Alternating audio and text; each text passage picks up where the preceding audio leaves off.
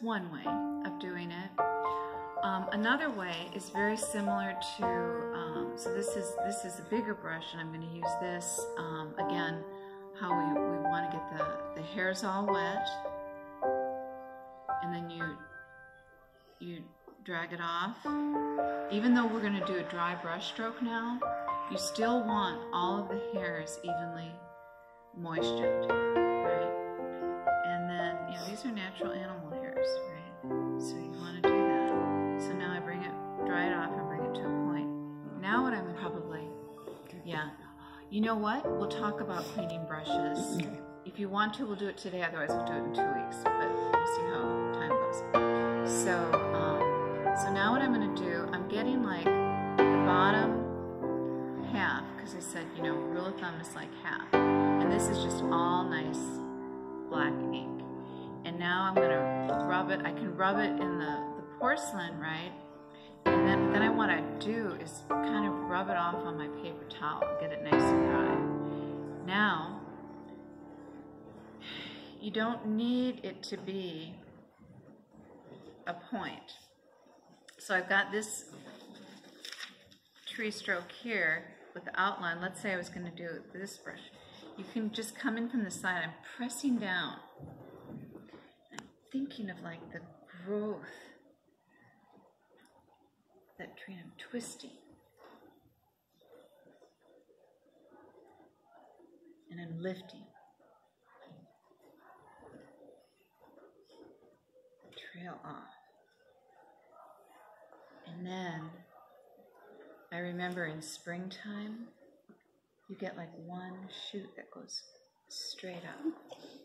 What you might want to do is usually in these compositions, you might see another branch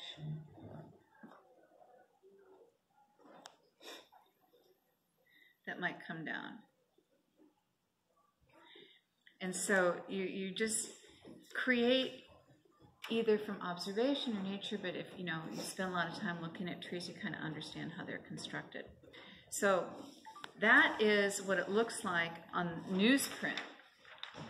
I can show you, I can pull out some sumi paper and show you that.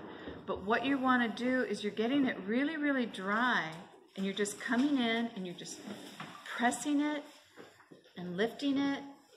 And you might even get like these dragon lines.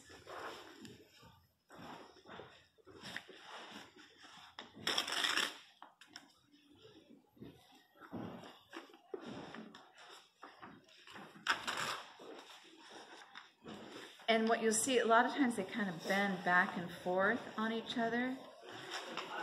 And so there's examples that you can actually look at here and see how, how the, the branches are actually growing out. But you want to make sure that there's no two that are lining up even and that they have you know, you got a variety. And then what you're going to do is you're going to go back in here and you're going to pick out where you're going to, just a few. You just need a few to express the idea. But the last thing you'll do too is in everywhere there's a like a, a bend, that's where the moss is going to grow. You know, that's where it's going to get wet and dark. And so what you do here is that's like you would put in you know, like just, th these are like dots. They almost look like thorns or something like that in different spots on, on different sides, you know, just to give just a little touch here and there. You know, it's like you're a chef and you don't want to dump all the salt, right? Just put a little bit, you know, and that'll make it just pop hard and then you lift to as it make, comes, becomes thinner. Any questions? Where does the blossom go? So the, that's a great question. So, so your blossoms are going to be, um, they're, they're going to be coming out of the branches, right? You know, you're not going to have um, two different styles on your tree. So here I'm going to do the, this um, freestyle. So I'm just going to do like a side view coming out, out of here. And then I can add like the, the filaments. This would be more like the pink blossom, because you know, you're, you're using the, like the color. It's a gray. If you do the outline, it's gonna be more um, representative of the, the white one. And you're not gonna do white and pink on the same tree, right?